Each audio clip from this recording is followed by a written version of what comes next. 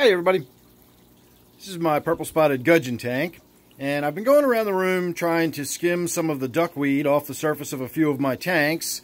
Uh, this of course being one of them that had a lot of duckweed on it. And so I wanted to show you my technique because you can use this for skimming the surface of your tank no matter what it is, whether it's duckweed or you just want to get in there and skim any little dead bits of floating debris or whatever. This will not work for skimming your uh, surface film. When you get that sort of oily looking biofilm on your surface, uh, you can use like a bucket or something to skim your surface uh, to get that off. But when you do that, as the water flows into the bucket, it fills up and then you've got to be really careful not to have it sort of backwash and all of your little bit of uh, duckweed will wash back into the tank or else you have to sort of scoop out a whole bucket full of water in order to scoop out some of the duckweed uh, that goes with it. So if you use a colander, a little cheap plastic one like this works really well. You don't want one that's too open like um, like a uh, sieve or a screen.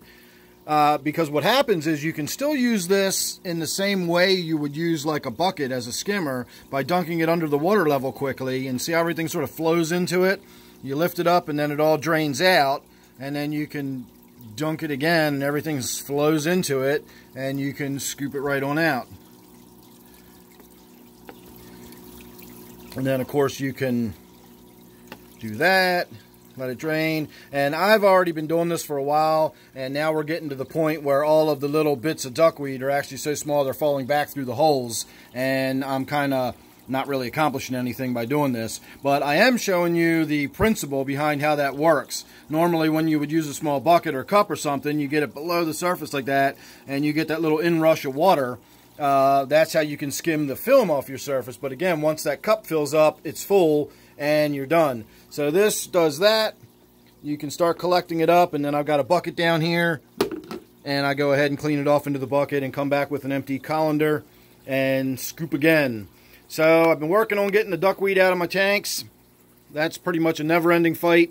And again, I thought I would share that simple little uh, quick tip with you there. So thanks for watching. Make sure you subscribe. Don't forget this one is my 40 gallon purple spotted gudgeon tank, although my gudgeon seems to have gone to ground since I started getting in there and doing some work. There he is in the back, hiding down, laying low.